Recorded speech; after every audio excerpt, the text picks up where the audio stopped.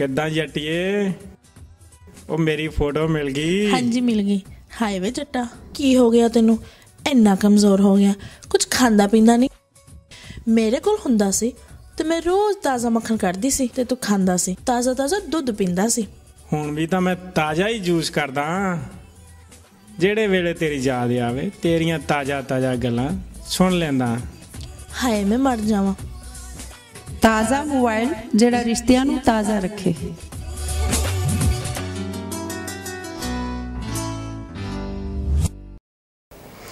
अस्सलाम वालेकुम कैसे हैं आप सब लोग ठीक ठाक हैं सबसे पहले आप सबको लेहो लेहो विद्दी बंसारी में मैं वेलकम करती हूँ क्या हाल चाल है कैसी चल रही है आपकी ज़िंदगी क्या हो रहा है आपकी लाइफ में मुझे उम्मीद है कि अल्लाह ताला के फसलों करम से सब कुछ बेहतर चल रहा होगा ठीक चल रहा होगा काफ़ी टाइम से आपसे मुलाकात नहीं हुई तो क्या करें फिर ज़िंदगी के ये जो दिन है, ये भी आगे पीछे, ऊपर नीचे होते रहते हैं, कोई ना कोई मामला ज़िंदगी के चलते रहते हैं। तो कभी कभी होता है कि मुलाकात नहीं होती, लेकिन मैंने आप सबको बहुत मिस किया यकीन मुझे भी मिस किया होगा आपने। अच्छा जी, चलें, चलते हैं अपने प्रोग्राम की जाने और जैसा कि आपको पता है कि हम अपने प्रोग्राम के स्टार्ट में ही आपको बता देते हैं कि हमारा जो वीनस न्यूज़ ग्रीस है, जो कि हमने प्रिंट मीडिया का भी एक आप लोगों के लिए हमने कोशिश की है कि आपको इलेक्ट्रॉनिक मीडिया से तो हम बाखबर रखते ही हैं लेकिन इसके ज़रिए भी आपको बखबर रखा जाए और ये देख रहे हैं कि ये भी हमारा शुमारा आ चुका है। और इसमें इस हफ़्ते की जो ताज़ा तरीन सूरत हाल है, जो ताज़ा तरीन न्यूज़ है, वो आपको वो आपको मिलेंगी। और इसके साथ साथ खातिन हजरात, एक बड़ी मज़ेदार ख़बर जो है तमाम खातन के लिए, वो ये है कि जैसा कि आपको पता है कि हमारा जो वीनस टेलीविज़न चैनल के तवसत से हम आप लोगों के लिए आप लोगों को ऐसे मौाक़े फ्राहम करते रहते हैं कि आप लोगों को तफरी मौाक़े कह लीजिए कि ख़वातीन चूँकि यहाँ में, यहाँ पर रहने की वजह से अक्सर ये होता है कि उन्हें कम ऐसे मौाक़े मिलते हैं कि वो गेट टुगेदर्स हो सकें या वो फिर इंजॉय कर सकें। तो जैसा कि आपको पता है कि हमने पिछले साल बिरयानी मुकाबला करवाया था हमने सोचा कि इस साल भी बिरयानी मुकाबला किया जाए और काफ़ी उसमें ख़वातीन थीं और काफ़ी हिस्सा लिया और काफ़ी जोशो खरोश से वो आगे आई। और हमने उसी जोश जोशो खरोश को मद्देनज़र रखते हुए हमने सोचा कि चलें इस हफ़्ते इस साल भी ये मुकाबला करवाया जाए और आपको तफरी का एक और मौका फ्राहम किया जाए। तो इसकी डिटेल भी आपको मिलेगी वीनस न्यूज़ ग्रीस में। बताती चलूँ कि तेरह मई जो है, तेरह मई इसकी डेट है और तेरह मई को ये मुकाबला होगा। और इसकी बकाया ये देख लीजिए, आपको तफसील भी इसमें मिलेगी कि कब हो रहा है। और इसके साथ साथ अभी तो काफ़ी टाइम पड़ा है, हम आपको साथ साथ बताते जाएँगे कि कहाँ होना है और कब होना है। और इसके साथ बताते चलूँ कि मीना बाज़ार भी होगा इसमें, वो ये पाकिस्तान में तो होता था कि मीना बाज़ार हो रहा है और तमाम ख़वातीन उसमें शिरकत करती हैं बच्चे होते हैं। ख़वातीन को एक ख़वातीन के लिए समझ लीजिए ईद का सा एक आ, मौका होता है कि मीना बाज़ार में आप सब जानते हैं कि चूड़ियाँ हो मेहंदी हो और मुख्तलिफ़ मज़े मज़ेदार जो हमारे चटपटे किस्म के खाने होते हैं वो स्टॉल लगते हैं। तो इस में भी हमने ये सोचा है कि इस प्रोग्राम में भी ये जो आ, इसका अहतमाम किया जा रहा है इसमें भी मीना बाज़ार हो और वो ख़वातीन जो कि स्टॉल लगाना चाहें वो भी हमारे साथ अभी काफ़ी टाइम है आप रबता कीजिए और आपको इसमें आप मेहंदी के स्टार लगा सकती हैं।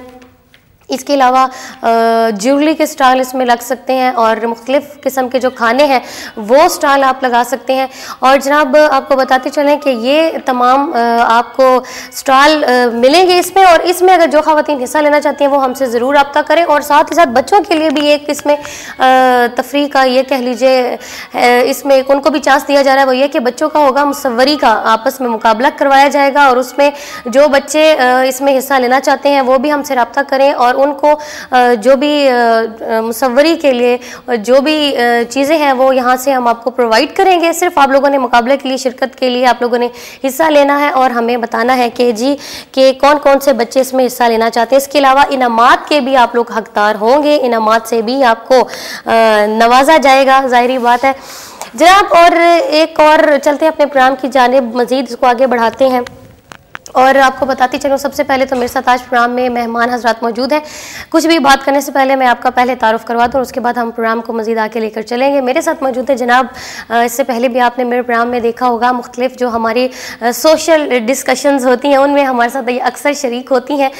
आयशा हमारे साथ मौजूद है। असल आयशा कैसे हैं आप?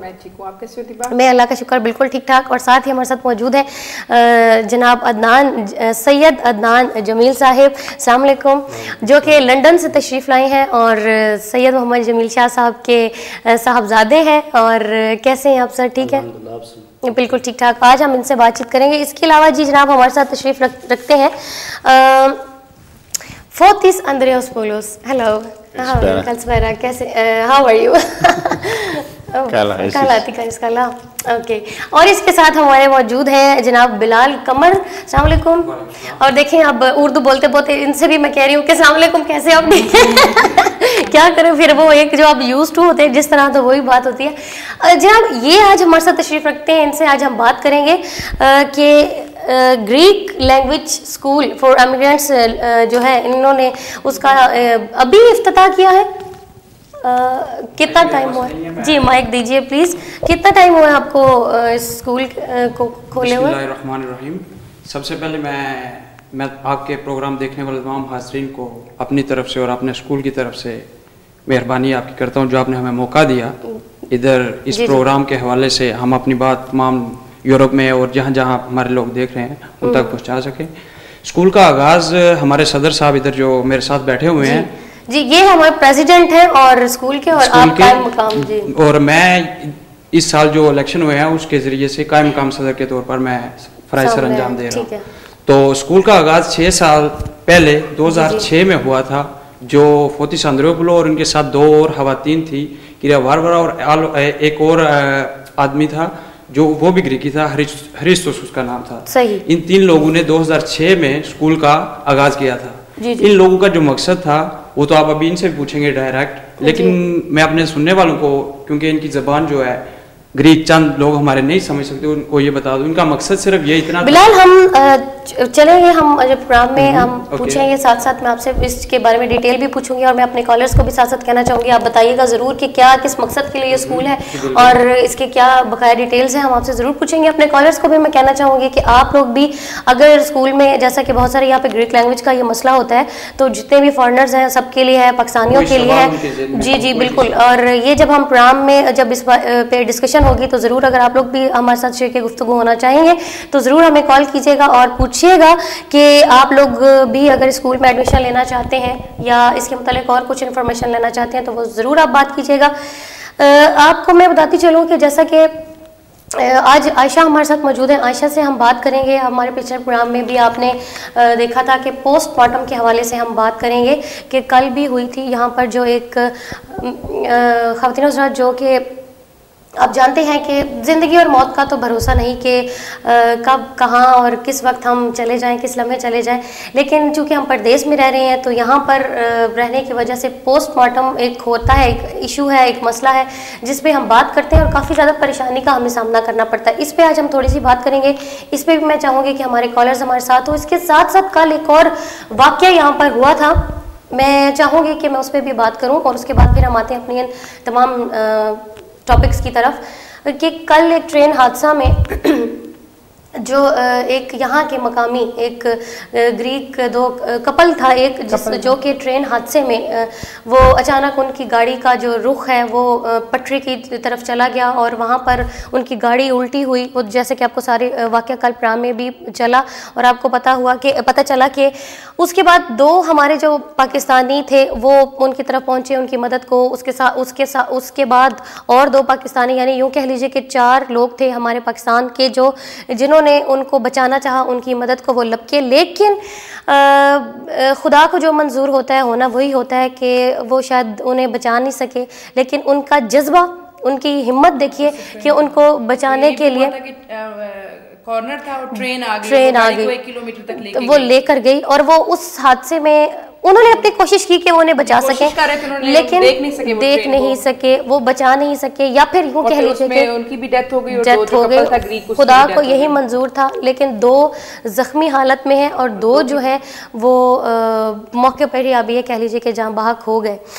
खवातीन हज़रत मेरी बात करने का यहाँ पर मकसद ये है कि देखिए ये एक जज्बा हिम्मत और हौसला चाहिए होता है कि वरना कहते हैं कि मौत के मुँह में कौन हाथ डालता है। दौड़ के कोई भी मौत के मुँह में हाथ नहीं डालता और लेकिन वो एक जज्बा था, एक इंसानियत थी कि उन्होंने उनको बचाना चाहा, लेकिन वो उन्हें भी नहीं बचा सके, लेकिन खुद भी वो शहीद हो गए।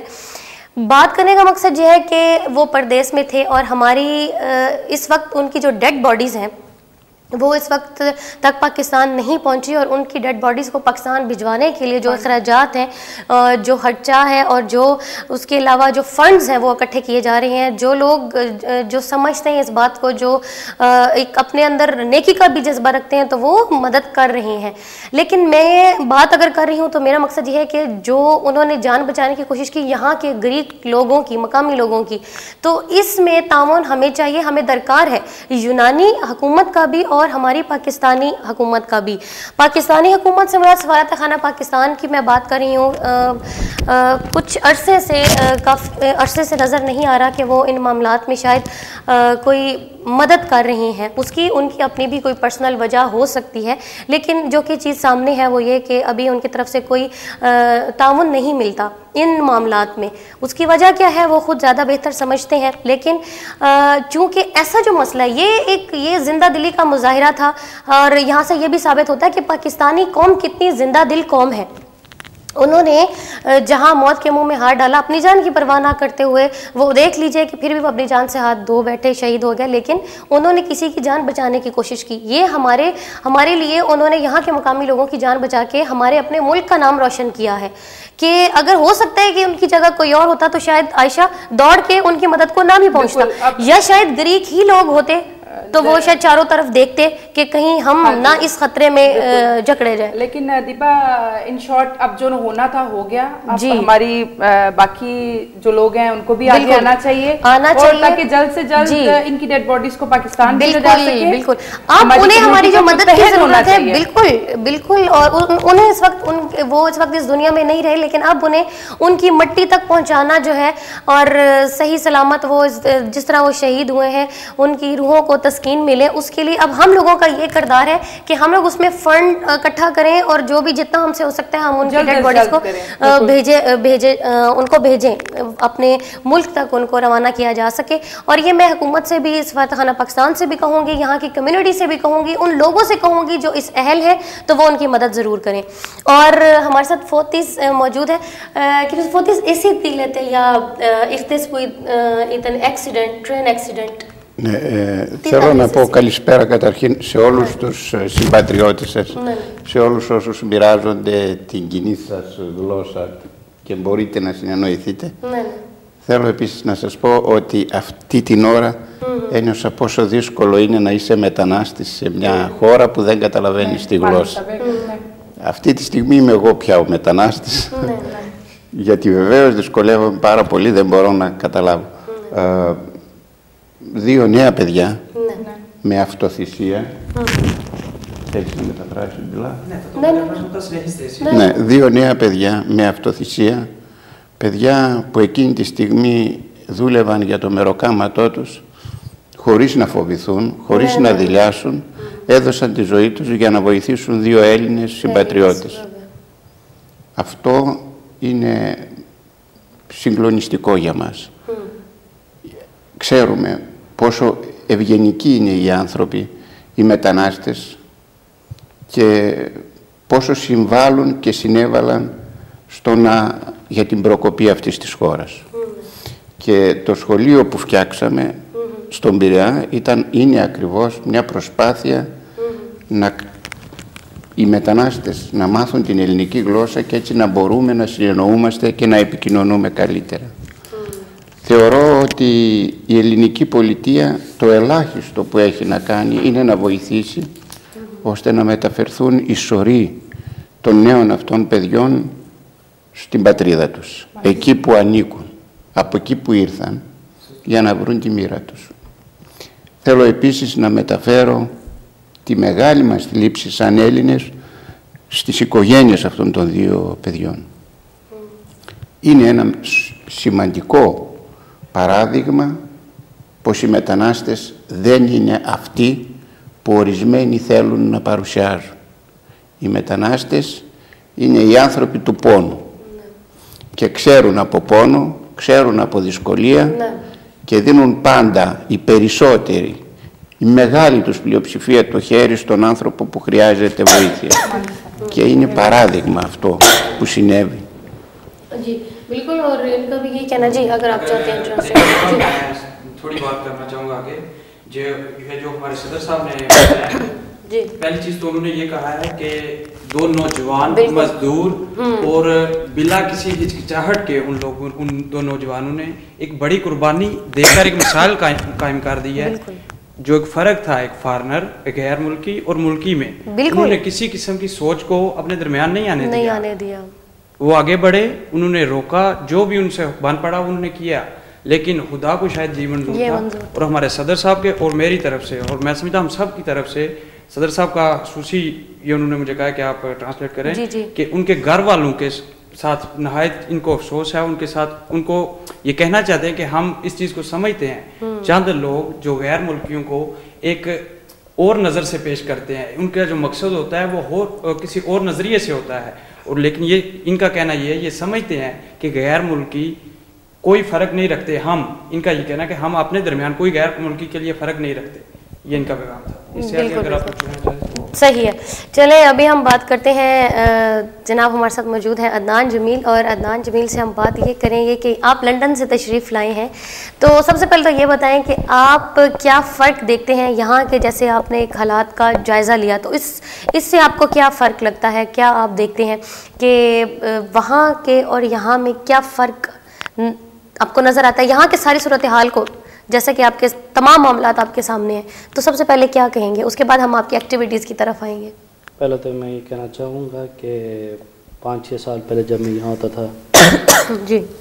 बहुत डिफरेंस नज़र आया जब मैं आया हूँ। माइक थोड़ा ऊपर कर लीजिए। बहुत डिफरेंस छः साल बाद में आया हूँ वापस। हम्म। तो मैं देख रहा हूँ कोई काम नहीं कुछ भी नहीं है। पहले काम होता था मीन तो अब जब मैं आया हूँ तो देख रहा हूँ लोगों के पास हम्म। कोई काम नहीं है। बिल्कुल। सिदक सिदगमा में मैं रोज़ देखता हूँ कि राइड्स हो रहे हैं। हम्म। और अ, मेरे दोस्त यहाँ पे काफ़ी पाकिस्तानी दोस्त हैं मेरे। जी जी। अच्छा ये बताएँ कि आप की क्रिकेट कैसी जा रही है? आप यहाँ आप सुना है काफ़ी अच्छे क्रिकेट के प्लेयर हैं। अभी क्या खेल रहे हैं? जी वहाँ पे खेल यहाँ पे भी खेलता था मेगरा की टीम से। अच्छा। 98 में 99 गालियों में जब मैचेस होते थे। और अभी मैं जब मैं लंदन गया हूँ तो हर वो उधर भी वो क्या नाम है एशियन लीग है। हम्म हम्म। तो उसमें मैं पार्टिसिपेट करता हूँ हर संडे को मैच होता है हमारा। अच्छा। हर संडे अच्छा वहाँ भी क्रिकेट शौक से खेली जाती है वहाँ पर भी टीम्स बहुत और बहुत शौक से खेली जाती है। कोई पच्चीस तीस टीम अच्छा ठीक है तो क्या मैसेज देना चाहेंगे? यहाँ भी आप खेलते रहे हैं यहाँ की टीम्स के लिए क्या कोई मैसेज देना चाहेंगे? यहाँ पे ये मैसेज देना चाहता हूँ कि try keep trying play well बिल्कुल। और जस्ट प्ले क्रिकेट ओके ठीक है जी। ओके जी अभी हम आते हैं। पॉलिटिक्स तो आयशा अब क्या कहें कि बात बात पे पॉलिटिक्स की बात करती हैं आप तो या तो दोस्ती होगी तो अच्छा दोस्ती में भी लगता है पॉलिटिक्स हो रही है। नहीं। जा रहा है, मतलब पॉलिटिक्स तो हर चीज़ में आ गई ना सिर्फ़ आप क्रिकेट की बात करते स्पोर्ट्स में पॉलिटिक्स का क्या काम है? होती तो है। अब ये ना करें जब हमारी टीमें कहीं आ जाती है यहाँ पे मुझे नहीं पता इंग्लैंड में तो सिर्फ़ बस क्रिकेट ही होती है। चले जी ये इंग्लैंड के लोग फिर शायद ज़िंदा दिल लोग हैं वो बात है वहाँ पर पॉलिटिक्स नहीं होती।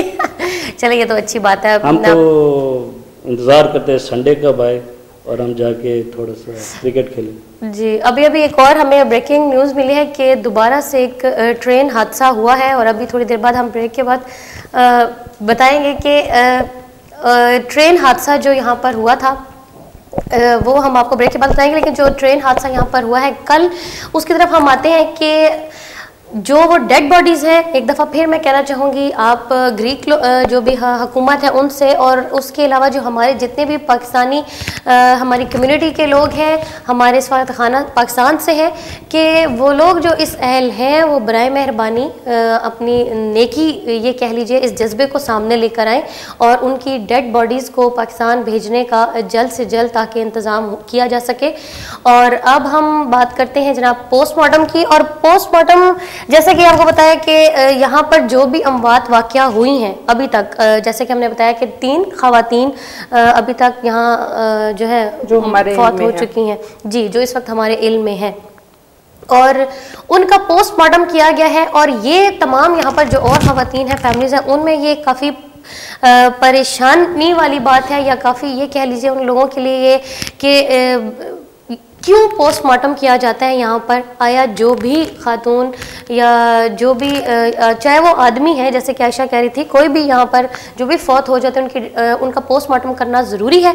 लेकिन हम चूँकि ख़वातीन की तरफ़ से अब आज बात कर रहे हैं तो क्यों उनका पोस्टमार्टम किया जाता है? क्या ये ज़रूरी है? सबसे पहले तो मैं ये चाहूँगी कि कोई अगर हमारे कॉलर्स हैं तो वो हमें ज़रूर कॉल करके बताएँ कि आप लोग क्या कहते हैं कि हम इनको कैसे रोका जा सकता है। लेकिन और ये क्यों किया जाता है? आयशा आप क्या कहती हैं? आपके क्या व्यूज़ हैं कि पोस्टमार्टम क्या? देखिए इस्लामिक पॉइंट ऑफ़ व्यू से बात की जाए तो नॉट अलाउड तो अलाउड नहीं है। तो यहाँ अब क्यों किया जाता है? क्या उसकी वजह ये भी तो हो सकती है कि यहाँ जब आप डेड बॉडीज को काफ़ी टाइम हो जाता है जहाँ पर तो उन्होंने ज़ाहिर बात ऐसी अद्वियात का इस्तेमाल करना होता है ताकि आपकी बॉडी ख़राब ना हो। आप क्या कहती हैं? किस क्या खातन की जानब से क्या इस मसले पे आप कहती देखिए फ़िलहाल तो मेरी अभी तक किसी डॉक्टर से या किसी एनजीओ से फ़िलहाल इतनी डीपली बात नहीं हुई। इंशाल्लाह फर्दर आप और मैं इस पे आगे भी जाएँगे। इंशाल्लाह एम्बेसी ऑफ़ पाकिस्तान के पास भी जाएँगे। बेसिकली मैं समझ नहीं सक रही पहले तो हमें पूछना पड़ेगा ग्रीक से कि क्या उनका भी होता है? बिल्कुल सही। क्योंकि उसकी वजह होती है ना कि पोस्टमार्टम के लिए ये भी होता है कि शायद लेकिन हमारी कम्युनिटी के यहाँ पे बहुत सारे मसाइल हैं क्योंकि मैंने किसी से बात की मैंने कहा यार ये पोस्टमार्टम हो रहा है लोगों के पास पैसे नहीं होते। और जी यहाँ पे कम्युनिटी कम है ना लोग मरते कम है जब मरेंगे तो फिर देखेंगे क्या करना है। मतलब यानी कि आप इंतज़ार करेंगे कोई मरेगा तो उसके बाद हम कोई कमेटी की तश्कील देंगे या कुछ करेंगे? हम्म, और इसकी एक और वजह भी सामने थी कि पोस्टमार्टम यहाँ पर इसलिए करते हैं कि वो आपसे मुतालबा करते हैं शायद जो यहाँ पर मौत वाक़ होती है हॉस्पिटल में तो वो आपसे कुछ पैसों का मुतालबा करते हैं। अगर वो आप उन्हें पे करें तो फिर उस सूरत में पोस्टमार्टम नहीं होता। और अगर वो ना पे करें तो फिर पोस्टमार्टम होता है। तो आप क्या क्या किया जा सकता है इस पर मैं चाहूँगी कि वो खातन जो जो हम इस दुख में है कि उन खातन जो वो फौत हुई हैं उनका पोस्टमार्टम हुआ है तो हम भी यहाँ अलावा पर भी दीबा कुछ मौजूद बातें हैं अगर आप मुझे इजाज़त तो मैं थोड़ी जी सी बात करूँ। जी जी। हमें कोई कोई हम लेडीज़ को यहाँ पे कोई प्लेटफॉर्म नहीं मिलता। अच्छा। इवन ना हमें अपने रिलीजियस के लिए ना सोशल नथिंग कुछ भी नहीं है। क्योंकि कोई अ, हमारे लिए कोई कुछ नहीं कर रहा है यहाँ पे। तो किसी ना किसी को तो आगे आना पड़ेगा। बिल्कुल। पोस्टमार्टम भी एक चीज़ है। हमें प्रॉपर जगह नहीं मिलती गुस्ल मुर्दे के गुस्ल के लिए जगह नहीं मिलती। ये सबसे एक बड़ी जगह बिल्कुल फिर उसके बाद आप सोचिए कि जैसे अगर एक राउंड अबाउट दो हज़ार ढाई हज़ार यूरो लगता है एक डेड बॉडी को पाकिस्तान भेजने के लिए। ठीक है? वो प्लस आप दो तीन घर वाले हैं आप उनकी टिकट्स मिलाएँ मतलब एक दम से हज़ार यूरो नहीं चार हज़ार तो हाँ तकरीबन चार पाँच हज़ार यूरो एक ऐसे हालात में एकदम से इतनी बड़ी अमाउंट बहुत मुश्किल भी तो हम लोग क्यों हम लोग कब हमारी कौम कब जागेगी? लोग कुछ क्या करना चाहिए? इसमें कम्युनिटी क्या करे और कैसे हम इसको कैसे हल किया जा सकता है? कहाँ क्या, क्या मदद ली जा सकती है? देखिए मैंने तो अभी अभी मैं एक जगह पे कुरान खानी में गई हुई थी जो हमारी एक आंटी की डेथ हुई थी अल्लाह ताला उनकी मगफरत करे। उनके लिए हमने एक किया था कुरान खानी करवाई थी। वहाँ पे मैं गई थी वहाँ से मैंने औरतों से बात किया। Round about twenty twenty five ladies थी वहाँ पे। और जब मैंने उनसे ये डिस्कस किया तो आप यकीन करें कि वो सब कहते हैं कि जब कोई आगे कोई हम कोई कोई अ, कोई बात ही नहीं करता एक दिन बात करते हैं तो मैंने उनसे कहा कि आप किसी का इंतज़ार क्यों करते हैं? हम्म बिल्कुल ये बात है। आप भी तो बात कर सकते हैं ना किसी बात के कर साथ। सकते हैं। आयशा मैं समझती हूँ कि सबसे पहले तो एक ज़रूरत यह है कि हम जैसे अभी आप मतलब बात बारिश का पहला कतरा बनने के लिए कोई तैयार नहीं है यहाँ आयशा मैं ये समझती हूँ कि हमें हम जो बात कर रहे हैं तो ना हम मतलब अगर। मेरी जैसी एक। हाउस वाइफ उठ के आपके पास आज आ गई है कि मैं इतनी डिस्टर्ब हुई हूँ उस दिन आप यकीन करें कि वो होता है कि क्लिक करने की बात होती है कि आपको वो क्लिक कब हो रहा है और वो नक्श वाली बात कह लें कि वो जहन से फिर उतरता नहीं है क्योंकि हम ये सोचते हैं कि हम भी तो यहाँ पर हैं हमारे साथ भी हो सकता है मतलब मुझे अभी तक वो बात तो- याद आती है कि जी कम्युनिटी नहीं है जब कोई मरेगा तो अभी तो मर, लोग कम मरते हैं जब मरेगा तो मतलब यार अब आप इस हम वेट तो करेंगे कि सकता हम मरेंगे तो फिर जब मरेंगे तो फिर उसके बाद फिर वही तो मेरे ख्याल से ये एक जी जी। मतलब पीछे वालों ने करना है ना। और सबसे बड़ी जो चीज़ है वो ये जैसे कि आप कह रही कल से डेड बॉडीज हैं अमोनिया में फंड्स इकट्ठे कर रहे हैं। ग्रीक गवर्नमेंट को भी चाहिए। दरकार है आयशा तीन हज़ार यूरो चाहिए uh, मतलब हम जैसे यहाँ की रिसेशन ने जो हालात बनाए हैं के पास में। या कोई एक फर्द ऐसा होना चाहिए या अगर खातन की एक अलग से कम्युनिटी हो जाए तो वो तो और अच्छी बात है। खातन का जो यहाँ पर अगर कोई खातून जाना तो है सबको एक दिन। तो इस किस्म का अगर कोई होता है वाक्य तो उसमें एक उस वक्त आप एक एक एक फैमिली की मदद कर सकें ना सिर्फ़ एक डेड बॉडी को पाकिस्तान भिजवा सके और, उसके और साथ अगर कोई जा रहा है बात ये कि इस मदद हो सके इस चीज़ से हट के जी। के वी आर मतलब मैं अगर किसी का स्पेशलाइज दाम लूँगी तो वो कहेंगे वी भाई हम हम पिंडी के हैं या वी आर फैसलाबादियंस उस चीज़ से हट के सोचना चाहिए कि वी आर पाकिस्तानी बिल्कुल। First of all we are Muslim Muslim और फिर हम पाकिस्तानी हैं। मतलब हमें एक बाउंड्री में नहीं आ जाना चाहिए बिल्कुल बिल्कुल। कि और आयशा अभी आप ये ना कहें यहाँ पर ऐसा भी कुछ आप मिलकर सोचे जा सकते हैं ना। सिर्फ़ आप अगर ये कहें कि जी यहाँ पर एक मैं हूँ या एक आयशा है या दो चार नहीं ये अगर ये जज्बा है। आप बिलीव करेंगे मुझे आज औरतों ने बोला है जी। कि भाई हम अगर कोई लोग मुझे कह रहे हैं कि वन वन लैख है यहाँ पे पाकिस्तानी। जी जी जी। आ, लीगल कह लें एक सीधा तो साठ साठ हज़ार होंगे। जी। तो उन्होंने कहा कि जी आप हम आपको बनाते हैं आप ले लें आप अभी हम आपको पैसे देते हैं। मैंने कहा जी मैं ये रिस्पॉन्सिबिलिटी नहीं ले सकती। मैं अच्छा हम ये बात करेंगे लेकिन अभी हम लेते हैं यहाँ पर एक ब्रेक और ब्रेक के बाद दोबारा हम इस मसले पे बात करेंगे और साथ में चाहूँगी कि कॉलर्स हमें ज़रूर ज्वाइन करें हाँ, और वो हमें ज़रूर kindly, बताएँ ladies कि, wake up, खासकर लेडीज़ के क्या करना चाहिए इस एक बड़े मसले पे? हमें बाहर बिल्कुल जी, निकलना है। बिल्कुल। लेकिन अभी हम लेते हैं ब्रेक ब्रेक के बाद दोबारा आपसे होती है मुलाकात हमारे साथ रहिएगा।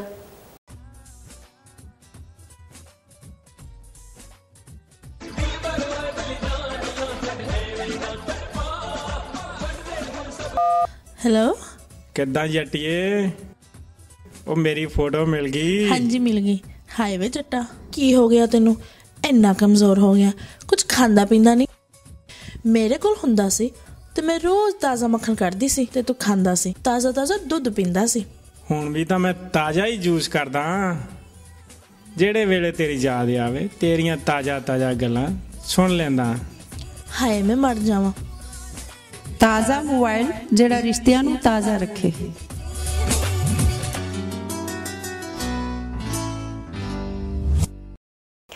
जी जनाब वेलकम बैक एक दफ़ा फिर आपको स्टूडियो में खुश आमदीद कहते हैं और हम खुश आमदीद साथ ही साथ कह देते हैं अपने प्रोड्यूसर साहब को भी जो कि इस वक्त हमारे साथ तशरीफ़ फरमा है। और मैं कह रही थी अगर नज़र आ रहे हैं तो मैं कहती हूँ आप में बड़ी चेंजिंग आ गई है।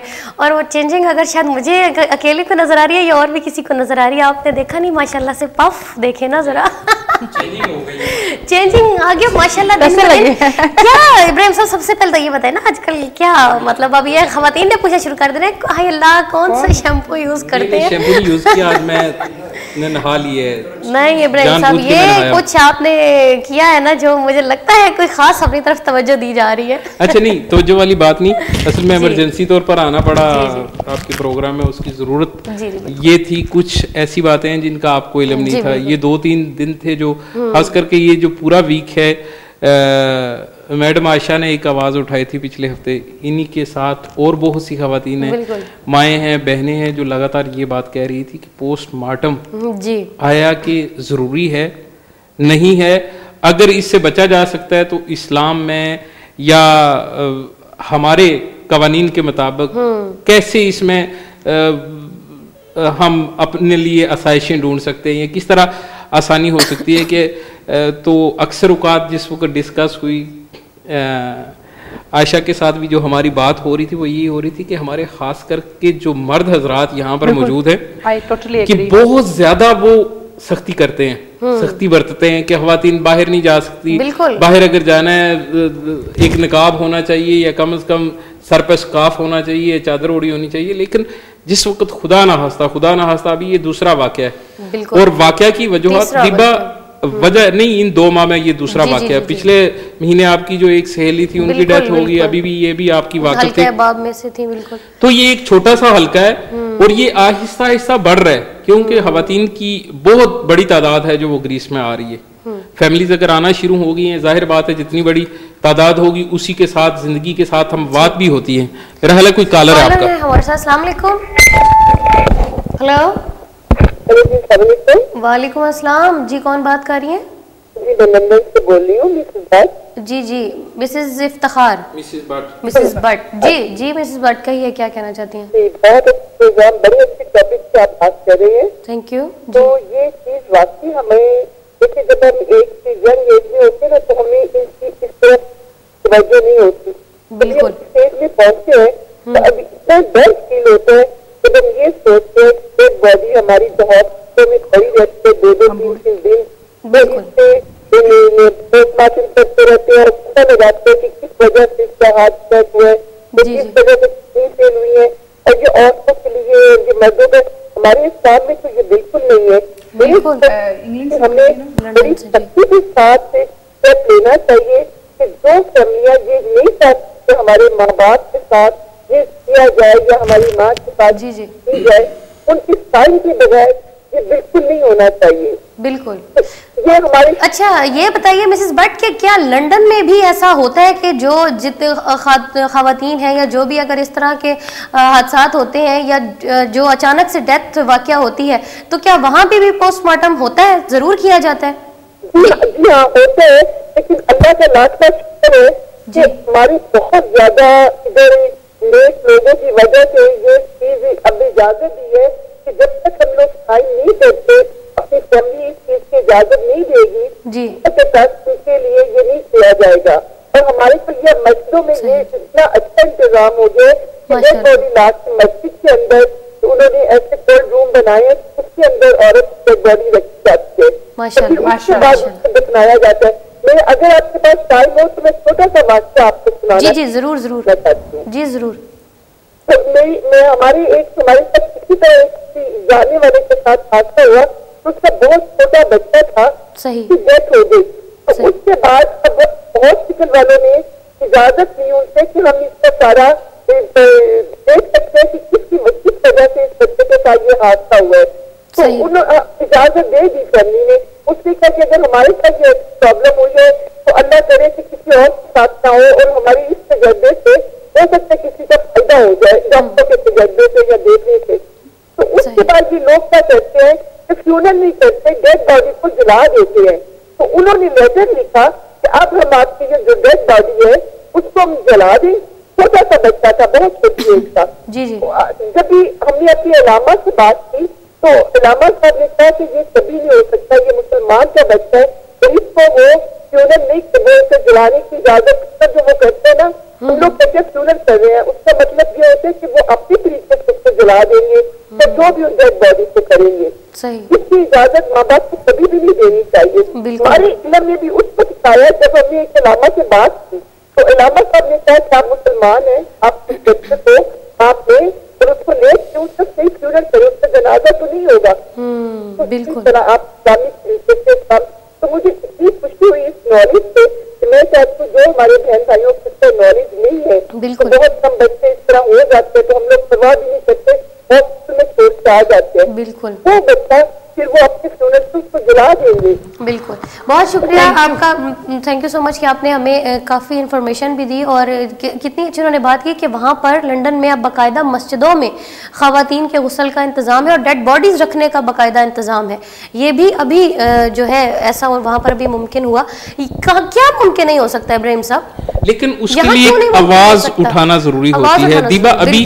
जो पिछला वाकया था अभी मैं चाहूँगा कि आप अपनी कॉलर्स को थोड़ा सा रोकें। क्योंकि बहुत अहम बात है जो करना ज़रूरी है कि पिछला जो वाकया था उसमें कफन दफन के लिए और जनाजा की अदायगी के लिए ये सारी वो रसूमात अदा करने के लिए बिल्कुल इंफॉर्मेशन नहीं नहीं थी। किसी को पता नहीं था अभी ये दूसरा था। वाकया हुआ है और उसमें वो लोग खास करके जो जेंट्स जो हामंद हजरात होते हैं घरों के सरबराह होते हैं वो अक्सर औकात सिर्फ़ और सिर्फ़ अपनी इज़्ज़त बचाने के लिए या पता नहीं क्या जहनी है। कुछ अनापरस्ती भी होती है कि वो ठीक तरीके से इंफॉर्मेशन नहीं करना मांगते और कोशिश उनकी होती है कि नहीं किसी ना किसी तरीके से दूसरे को पता ना चले। हम्म। लेकिन ये मामला है जो ये पूरी कौम का होता है मुल्क का होता है और उसके बाद सबसे बड़ी जो बात है हम मुसलमान हैं। और बींगा मुस्लिम हमें बहुत सी ऐसी चीज़ें हैं जिनकी ज़रूरत होती है लेकिन उनके लिए आवाज़ उठाना ज़रूरी होता है। आज का जो टॉपिक है इसको मजीद अगला हफ़्ता है जो अगला हमारा जो प्रोग्राम होगा लीगो लीगो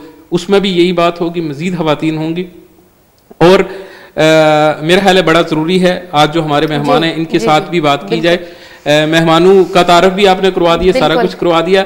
और ये भी बहुत अहम शख्सियत हैं अहम शख्सियत इस हवाले से है कि साहब एक कॉलर ज़रूरी है तो वो हम उनसे अच्छा बात कर लेते हैं। जी अस्सलाम हेलो वालेकुम। अस्सलाम। जी कौन सा बात कर रहे हैं? मैं जी फ्रैंकफर्ट से खिजर मलिक बात कर रहा हूँ। जी खिजर। जी। हाँ जी मैं क्योंकि आपने दो सवाल किए थे। एक सवाल तो ये था कि क्या पोस्टमार्टम मैयत का होना ज़रूरी है? जी। और दूसरा इसका अरेंजमेंट क्या है। क्योंकि ये यूरोप सारा तकरीबन इकट्ठा हो गया है। जी जी जी। तो मैयत के पोस्टमार्टम के हवाले से जो जर्मनी का कानून है ये साझारे के पूरे यूरोप कंट्रीज़ में यही होना चाहिए बिल्कुल। कि ये पोस्टमार्टम दो तीन कंडीशनें होती हैं इसकी। सही। कि अगर एक्सीडेंट हुआ है उसमें मैयत मतलब एक्सपायर हो गया कोई है, तो उसका एक ऑटोमेटिकली उसका पोस्टमार्टम मस्ट हो जाता है। सही। क्योंकि उसके अंदर वो काजेज देखनी होती है क्या वजूहत है। दूसरी ये होती है कि किसी की जवान मौत हो गई है। हम्म। अगर वो आदमी घर में आया ठीक ठाक उसने रात को खाना खाया और सो गया सुबह उसकी डेथ हो गई है रात। तो उसके अंदर वो काज देखना चाहते हैं कि किसी ने इसको जहर दिया है किसी ने इसका गला घूटा दिया वो। कानून है जिसके ऊपर आप कुछ नहीं कर सकते। सही। तीसरी चीज़ ये है कि अगर एक कोई ऐसी सिचुएशन भी बनती है कि बच्चे की डेथ होगी या किसी मेंबर ऑफ़ फैमिली की तो उसके अंदर यह होता है कि पेरेंट्स को कानूनी तौर पर ये हक हासिल है कि वो उसका या फैमिली मेंबर कोई है मियाँ है बीवी का ना करवाने दे बीवी है मियाँ का ना तो उसके अंदर एक कानून ये होता है कि जी आप बाद में इंश्योरेंस से क्लेम नहीं करेंगे। सही। ये चीज़ है और बाकी जो केसेस एक्सीडेंटल होती है या हॉस्पिटल में डेथ हो गई है कोई आदमी किसी का ऑपरेशन हुआ उसकी डेथ हो गई है तो फैमिली को ये इजाज़त होती है कि वो अगर पोस्टमार्टम ना करवाने दे तो वो मतलब उनकी हक के साथ है वो इसके ऊपर वकील से बात करके और ये इसको रुकवा सकते हैं। अब दूसरा मसला ये था कि मैयत को पाकिस्तान भेजने के ऊपर के उसके ऊपर अखराज उठते हैं। अब। जर्मनी के अंदर अलहमदुल्ला ये है कि हुकूमत पाकिस्तान ने हमें एक फैसिलिटी दी है कि जर्मनी के किसी कोने में डेथ हो जाए तो पीआईए हमारी मैयत को फ्री पाकिस्तान भेजती है। क्या और बात मैं पिछले 20 वर्षों से इस बिल्ला मैं इसके अंदर कोई कमीशन नहीं लेता। आज भी एक बॉडी पाकिस्तान जा रही है जो कि फ्रैंकफर्ट से 400 किलोमीटर दूर है। और मैं उसके अंदर सुबह से अंगेज हूँ मैंने आदमी भेजा है। मैं सिर्फ़ अल्लाह की खुशनुदी के लिए अपनी पाकिस्तानी कम्युनिटी के लिए काम करता हूँ। मेरे लिए एक पैसा भी अपने बच्चों के ऊपर खर्च करना हराम है। लेकिन जो अखराजात होते हैं ताबूत है गुसल है कफन है। ट्रांसपोर्ट है कूलिंग सिस्टम है इसके अखराजात होते हैं। तो मैंने एक फिक्स रेट रखा हुआ है पूरे फ्रैंकफर्ट और 50 किलोमीटर के एरिया में 1200 यूरो। 1200 यूरो में हमारी बॉडी ये फ्री लेकर जाती है जो अखराजात ये 1200 यहाँ के यहाँ के हैं। तो उसके बाद पर 100 किलोमीटर के ऊपर 100 यूरो लेते हैं हम। अगर 500 किलोमीटर 500 प्लस हो जाए। तो ये कम्युनिटी को हमारी कम्युनिटी जहाँ किसी यूरोप के किसी मुल्क में भी रह रही है यूरोप के जितने कंट्रीज़ है जहाँ पे हमने एक कमेटी बनाई हुई है। और हमारे सिर्फ़ हम पाँच यूरो महीने के देते हैं। यही बात है। पाँच ईयर हमारे जन और हमारी पूरी फैमिली थैंक यू सर बहुत शुक्रिया। टाइम बहुत कम होता है तो इसीलिए हम लंबी बात नहीं कर सकते लेकिन फिर भी आपने काफ़ी इन्फॉर्मेशन दी और वही आयशा हम एक दफ़ा बात कर रहे थे कि अगर खातन भी यहाँ पर माशाल्लाह जितनी अब फैमिलीज़ मौजूद है अगर एक तो आदमियों का तो एक अलग बात है लेकिन अगर खातन भी मिलकर यहाँ पर अगर ऐसा कम्युनिटी के आदमियों को आजमा के देखा जा चुका है। हैं अभी तक जितना काम कर रही है कम्युनिटी के लोग ही कर रहे हैं ना किसी ना किसी हवाले से मदद की जा रही है। अभी साहब ने बताया। कि जर्मनी में पाकिस्तान एयरलाइन जो है वो आ रही है। लेकिन यहाँ पर तो अरसा दराज से पी आई है जो रुकी है। जिस वक्त तक पीआई थी उस वक्त तक डेड बॉडी की सहूलत थी कि वो फ्री लेके जाते थे। और अभी 1700 यूरो में यहाँ से भेजी जा रही है। इन लोगों का 1500 यूरो लिया जा रहा है। नहीं नहीं वो भी इन नहीं नहीं। air, अ, नहीं नहीं उन्होंने कहा है पंद्रह सौ सिर्फ़ है कि अगर वो फ्रैंकफर्ट से दूर है सेंटर तक लाने के लिए कूलिंग का तकरीबन कफन का 1200 यूरो मतलब वो है यहाँ पर तो यहाँ पर तो चार हज़ार के करीब आपकी अमाउंट चली जाती है। सारा कुछ आप नहीं यहाँ सारा कुछ इंक्लूडेड पंद्रह सौ तक ये जो दो- डेड बॉडीज हैं इनका हुआ है। लेकिन मकसद ये है कि फेयर फेयर डाल के? सब कुछ डाल के। नहीं लेकिन जैसे अब हम साथ में फैमिली मेंबर का भी जाना होता है तो वो उस तरह करके तो ज़्यादा खर्चा हो जाता है ये फैमिली मेंबर साथ में तो नहीं भेज रहे ना बारह सौ जो तो कह रहे हैं उसमें। खैर इस पे अगले हफ़्ते भी बात होगी अभी बहुत कम टाइम है हमारे पास तो मिस्टर फोतीस के साथ बात करना ज़रूरी है। नाजरीन मैं बता रहा था कि एक इनका भी अहम रोल है खास करके पाकिस्तानी कम्युनिटी के लिए कि ये ग्रीक लैंग्वेज भी सिखवाते हैं तकरीबन छः साल से इनका स्कूल चल रहा है और उसके साथ साथ इनकी जो इनके स्टूडेंट्स होते हैं, उनके लिए जो इकदाम होते हैं, वो माशाल्लाह काबिल फ़ख्र है काबिल तहसीन है। तो इनको हमेशा हम हर जगह अप्रिशिएट करते रहते हैं और हौसला अफजाई करते हैं। अभी मीडिया पर हम इनको लाए तो इनको लगातार हम इस बारे में लाते रहेंगे और आपको खास करके जो यूनान में बसने वाले हैं उनको स्कूल की जो प्रॉब्लम है लैंग्वेज सीखने की वो इन लोगों ने जिस हद तक दूर की है उसको मज़ीद कुछ हद तक हम अ, कमी उसमें करने की कोशिश करेंगे। अभी मेरा ख्याल आयशा की भी बात हो रही हो गई ये भी स्कूल में लैंग्वेज सीखने जाएँगी। इंशाल्लाह। अच्छा मिस्टर Foti, θα ήθελα να μας πείτε α, από έξι χρόνια λειτουργείτε αυτό το σχολείο; Από το 2005 το Νοέμβριο. Από 2005 το Νοέμβριο. Πάμε στο 7ο χρόνο. 7 χρόνια. 7 χρόνια. Λοιπόν, υπάρχουν και ε, ελληνομάτια και για τις γυναίκες; Βεβαίως. Δηλαδή, Ε, οι κυρίες μπορούν να έρθουν να μάθουν; Βεβαίως. Ε, μπορούν να έρθουν σε ξεχωριστό τμήμα, γυναικείο τμήμα, που κάνει μάθημα την Κυριακή το πρωί από τις 10 η ώρα μέχρι τις 1 το μεσημέρι. Από τις 10 το πρωί μέχρι τις 1 το μεσημέρι. Ε, ήταν ένα αίτημα των, τη- των μεταναστών, ιδιαίτερα εκείνων που έρχονται από την Ασία. Υπήρχε ένα ερώτημα αν θα πρέπει να το κάνουμε, γιατί εμείς εδώ τα τμήματά μας είναι μεικτά, δηλαδή ε, ε, ε, ε, γυναίκες και άνδρες κάθονται στην ίδια αίθουσα και μαθαίνουν την ελληνική γλώσσα. Όμως, οφείλαμε να σεβαστούμε την, ε, τον πολιτισμό αυτού, αυτών των λαών, το αίτημά τους και θεωρήσαμε ότι πρέπει να γίνει γιατί οι γυναίκες βοηθούν πολύ τους, τα παιδιά στο σπίτι και όταν ξέρουν την ελληνική γλώσσα θα μπορούν να βοηθήσουν και τα μικρά παιδιά στο σχολείο στα μαθήματά τους. Μάλιστα, αυτό είναι πολύ σωστό διότι ένας άντρας για να μάθει, εντάξει, χρειάζεται, αλλά μια γυναίκα όταν μαθαίνει, μαθαίνει όλη την κοινωνία. Μαθαίνουν πολύ. οικογένεια. Λοιπόν, και η Δίμπα θέλει να μάθει ελληνικά, τότε μπορεί να έρθει. και- Αυτή φοβάται μάλλον από τους άντρες. अभी आपको पता चल गया कि वहाँ सिर्फ़ खवातीन की क्लास ये तो बड़ी अच्छी बात है। चले मैं तो मेरे तो खैर आपने मज़ाक में ही बात कर दी। मुझे तो मज़ाक ही लगा लेकिन ये कि बहुत सारी खातन ऐसी हैं जो कि नहीं जाना चाहती। और उनके लिए ये काफ़ी अच्छी इन्फॉर्मेशन है। बिलाल आप मजीद अगर उन खातन को कुछ कहना चाहते हैं। देखिए मैं सबसे पहले तमाम खातन को जितनी भी हमारे इस ग्रीस में मौजूद हैं इस वक्त उनको एक दावतनामा आम है और ये है कि हमारी खातन वैसे तो हमारी मैडम ने भी यहाँ बात की आगे नहीं आती। आगे- आगे हम कैसे आएँगे? जब हम घर से बाहर नहीं निकलेंगे हम स्कूल में नहीं जाएँगे हम ग्रीक नहीं सीखेंगे किसी से बात कैसे करेंगे? अपने हक को कैसे मांगेंगे हमारे बहुत से ऐसे मिसाइल हैं जो लैंग्वेज मेरे मेरी नज़रिए मेन मसला जो है जबान है। आज अगर मैं यहाँ छह साल से मौजूद हूँ खुदा के फजलो करम से इस यूनान में मुझे कोई किसी किस्म का मसला नहीं जो मैं अपनी जात के हवाले से हल ना कर सकूँ। किसी इदारे में स्पेशली लेडीज़ के लिए है कि डॉक्टर्स के पास जब जाती हैं तो वो एक्सप्लेन ही नहीं कर सकती वहाँ पे कि हमें बच्चों प्रॉब्लम है। मैं- मैं इसी से इत्तेफाक करता हूँ। बच्चों को लेके जाना होता है या टीचर से स्कूल में बात करनी है तो वो कैसे करेंगे? देखें प्रोग्राम के हवाले से वक्त भी शार्ट है। मैं दो चीज़ें बताना चाहूँगा स्कूल के हवाले से। पहली चीज़ तो ये है स्कूल में खातन के लिए अलग इंतज़ाम किया गया है। वो सिर्फ़ हमारे लिए गया वो वाला बिलाल वो वाला इंतज़ाम किया गया यहाँ औरतों के लिए अलग पर्दे का इंतज़ाम नहीं इंतज़ाम मेरा जी। अ, मुराद ये है कि 10 से 1 बजे तक खातन के लिए अलग क्लासें होती हैं जिसमें सिर्फ़ मुसलमान और दूसरे अगर किसी की मर्ज़ी हो खास तो वो भी आ करके- सकते हैं। खास करके हमारे लिए एक क्लास है जिसमें खातन खातन पढ़ाती हैं उनको। जी sorry, आप आपसे पूछ करना चाहूँगी कि जो आप पाकिस्तानी खातन के लिए आपने क्लासेस की हैं हम्म। उसमें जो टीचर है क्या वो आपको किस लै- दो लैंग्वेजेस में सिखाएगी? देखिए जो टीचर है ना सबसे पहले वो ग्रीक लैंग्वेज में कोशिश करेगी आपको सिखाने की। अगर आप बिल्कुल शुरुआत से सीखना चाहते हैं तो वो आपकी मदद इंग्लिश से भी करती है। उसके साथ साथ हमारी बहुत सारी खातन को तो इंग्लिश इंग्लिश वही मैं बात करने हाँ, वाला था मैं समझ गया आप क्या पूछना चाहते हैं? उसके साथ साथ तीसरी जो चीज़ है वो ये है कि हमारे पास खुदा के फजलो करम से ऐसी खातन भी है जो आती हैं और मदद करती हैं अपनी खातन की। जो उनको उर्दू जबान में सिखाती हैं। पाकिस्तानी हेल्प करती हैं स्कूल में हमारा अलिफ जो है उसको ए अल्फ़ा कहते हैं। वो उर्दू जबान में उनको बताती है। इससे उनकी बुनियाद बन जाती है। इसी तरह हम मर्द भी दो लोग मैं और अशरफ साहब हमारे एक भाई हैं। हम स्कूल में मैं गुजशत तीन साल से स्कूल में जा रहा हूँ। और खुदा के फजलो करम से यानी कि इतनी मुझे जबान आ गई है कि मैं अपने भाइयों की मदद कर सकता हूँ।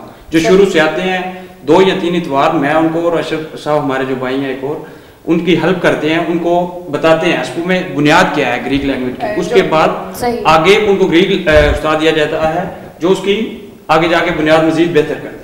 जी। अच्छा फ़ीस वगैरह का तो एक चीज़ और फ़ीस ये जो स्कूल है ये बिल्कुल फ्री है। दो रियान है कोई किसी किस्म की फ़ीस नहीं है। और एक चीज़ जो बहुत ज़रूरी है हमारे लिए जी। वो कागजात के हवाले से। अच्छा। हमारे बहुत से लोग परेशान हो जाते हैं हवातीन भी मर्द भी कि शायद मेरे पास कागज़ नहीं है मेरे पास रेड कार्ड नहीं है मेरे पास कोई कागज़ नहीं है जिसकी वजह से मैं कैसे जाऊँ स्कूल में। हमारा जो स्कूल है इन पाबंदियों से आज़ाद है। और एक चीज़ मैं ऐड कर दूँ स्कूल का नाम है अनहतो। यानी कि ओपन ओपन उर्दू में कह दो खुला खुला ये नहीं कि दरवाजा खुला है खुला है हम सब के लिए खुले हैं सब कोई भी आ सकता है बगैर किसी इलीगल प- भी इलीगल भी और बगैर किसी पाबंदी से और हम उसको अपने यानी कि हमारे अच्छा जो बिलाल एक आंखें बात खुले- मैं पूछना चाहूंगा मिस्टर फोती से Bilal. कि फोती μπορείτε να μας πείτε βοηθάει εσάς ο κράτος υπάρχει κάποια βοήθεια Όχι, δεν έχουμε κάποια ιδιαίτερη βοήθεια. Μα- Ε, η- Ο Δήμος Πειραιά μας βοήθησε μέχρι τώρα μία φορά και ελπίζουμε να έχουμε μια δεύτερη βοήθεια, ένα πολύ μικρό ποσό. Όμως όλοι είμαστε εθελοντές, δηλαδή δεν πληρωνόμαστε για αυτή τη δουλειά. Ε, ε, δουλεύουμε το πρωί στα σχολεία και την Κυριακή αφιερώνουμε το απόγευμα και ορισμένοι το πρωινό της Κυριακής για να κάνουμε μάθημα मैं इस चीज की थोड़ी και सी σ- तर्जुमानी ε, στους μετανάστες και στους ε, πρόσφυγες. अच्छा मैं इस चीज़ की थोड़ी सी थोड़ा तर्जुमा कर दूं इनके हमारे सदर साहब ने जो बात की है वो ये है कि हमारे जितने भी स्कूल टीचर हैं चाहे वो खवातीन हैं चाहे वो मर्द हैं बिल्कुल यानी कि फ्री पढ़ाते हैं वो भी किसी किसी इदारे से किसी गवर्नमेंट से कोई फीस नहीं लेते कोई तनख्वाह नहीं लेते वो रजाकाराना निज़ाम के तहत ये सारा काम करते हैं और हम सब सोच सकते हैं कि हमारे लिए इतवार कितना कीमती है। अगर मैं चाहता हूँ कि इतवार अपने घर के घर वालों के साथ अपने दोस्तों के साथ गुजारूं तो ये लोग भी इतवार अपने घर वालों के साथ गुजारना चाहते हैं। लेकिन बावजूद इसके ये तीन घंटे पाँच से आठ बजे तक हमारे लिए टाइम देते हैं ताकि हम कुछ सीख कर इस मुल्क में आगे बढ़ सके। बावजूद इसके ये इतनी मेहनत करते हैं कि हम आगे ना आए और ना हिस्सा लें फिर किसी को कहना कि किसी का कसूर है ये गलत Δίνετε बात है। κάτι διπλώμα ή κάτι, πόσες Στο- ώρες Ναι, επαγγελματάμε ή ε, κάτι. θα σας απαντήσω, αλλά θέλω να πω ότι αυτό δεν το κάνουμε μόνο για τους μετανάστες και τους πρόσφυγες. Το κάνουμε πρώτα απ' όλα για μας τους ίδιους, τους Έλληνες, τους συμπολίτες μας. Γιατί όταν βοηθούμε τους μετανάστες να ενταχθούν στην πόλη μας, στην κοινωνία μας, η κοινωνία μας θα είναι λι- περισσότερο ειρηνική. Θα μπορούμε να ζούμε ειρηνικά μεταξύ μας. Άρα δεν είναι μια προσφορά μόνο προς τους μετανάστες, αλλά είναι και μια προσφορά στην πόλη και για μας τους ίδιους. Θέλουμε δηλαδή μια ειρηνική πόλη. Μια πόλη όπου οι άνθρωποι από διαφορετικές ε, εθνότητες, με διαφορετικές γλώσσες, διαφορετικές θρησκείες να μπορούν να συμβιώνουν και να ζουν μαζί ειρηνικά. Είναι μόνο ένα σχολείο αυτό που λειτουργεί αυτή Στον τη Πειραιά, στιγμή; Στο Πειραιά είναι, ναι, στον Πειραιά ναι. η- η- Είναι στο Α, Τιγόν. Να πάνω σας στο τσιγόν, άμα θες να το δώσω και... ναι, το να δώσω απαντήσω. και- Ναι, βέβαια. Κάτι με ρωτήσατε. Ναι, ε, δίνετε κάτι διπλώμα ή Βεβαίως. κάτι. Ε, στο τέλος της χρονιάς δίνουμε μία βεβαίωση για το σύνολο των ωρών που έχουν κάνει την ελληνική γλώσσα. Αλλά για να πάρετε ένα επίσημο πιστοποιητικό ελληνομάθειας θα πρέπει να δώσετε εξετάσεις στις, στο, σ- που διοργανώνει το Υπουργείο Παιδείας για ελληνομάθεια. Έχουμε όμως ένα τμήμα, α, ο Μπιλάλ είναι ένας από τους μαθητές που παρακολουθούν αυτό το τμήμα, που ε, προς τα μέσα περίπου του Μαΐου, 14 14 Μαΐου, θα δώσουν εξετάσεις για να πάρουν το πιστοποιητικό ελληνομάθειας.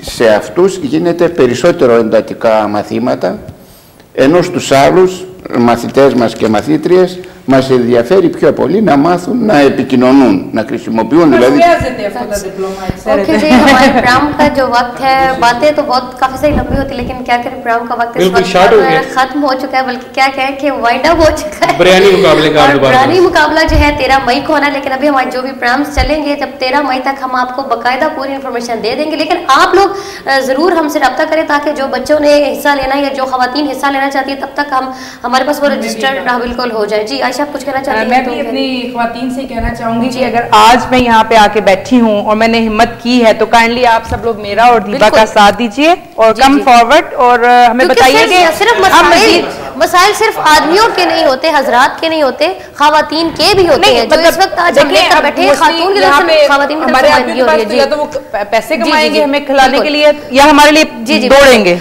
ओके जी अल्लाह हाफिज इसी के साथ इजाज़त दीजिए।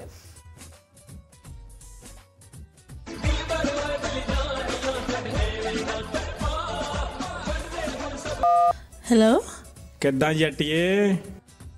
ਉਹ ਮੇਰੀ ਫੋਟੋ ਮਿਲ ਗਈ। ਹਾਂਜੀ ਮਿਲ ਗਈ। ਹਾਏ ਵੇ ਜੱਟਾ ਕੀ ਹੋ ਗਿਆ ਤੈਨੂੰ? ਇੰਨਾ ਕਮਜ਼ੋਰ ਹੋ ਗਿਆ। ਕੁਝ ਖਾਂਦਾ ਪੀਂਦਾ ਨਹੀਂ। ਮੇਰੇ ਕੋਲ ਹੁੰਦਾ ਸੀ ਤੇ ਮੈਂ ਰੋਜ਼ ਤਾਜ਼ਾ ਮੱਖਣ ਕੱਢਦੀ ਸੀ ਤੇ ਤੂੰ ਖਾਂਦਾ ਸੀ। ਤਾਜ਼ਾ ਤਾਜ਼ਾ ਦੁੱਧ ਪੀਂਦਾ ਸੀ। ਹੁਣ ਵੀ ਤਾਂ ਮੈਂ ਤਾਜ਼ਾ ਹੀ ਜੂਸ ਕਰਦਾ ਜਿਹੜੇ ਵੇਲੇ ਤੇਰੀ ਯਾਦ ਆਵੇ ਤੇਰੀਆਂ ਤਾਜ਼ਾ ਤਾਜ਼ਾ ਗੱਲਾਂ ਸੁਣ ਲੈਂਦਾ ਹਾਏ ਮੈਂ ਮਰ ਜਾਵਾਂ। ਤਾਜ਼ਾ ਮੋਬਾਈਲ ਜਿਹੜਾ ਰਿਸ਼ਤਿਆਂ ਨੂੰ ਤਾਜ਼ਾ ਰੱਖੇ।